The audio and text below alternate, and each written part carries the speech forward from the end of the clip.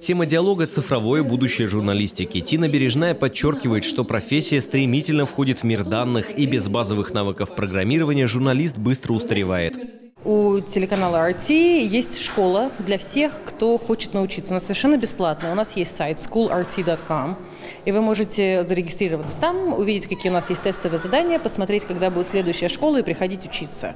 Я хочу сказать, что ребята, которые приходят к нам, очень разные, но у нас очень много разных подразделений. И есть ребята, которые настолько классные, и они настолько вписываются в процесс, моментально понимают. И вот прям, знаете, вот нутром чувствуют, что это их, и редакции видят, какие они классные, и забирают их себе. В ходе диалога обсудили возможности искусственного интеллекта, преимущества перед ним человека. Также Тина Бережная рассказала слушателям о ключевых особенностях новых медиа. Специалист уверяет, что гибкий ум молодых людей очень быстро справится с поставленными задачами. Главное – желание и упорство.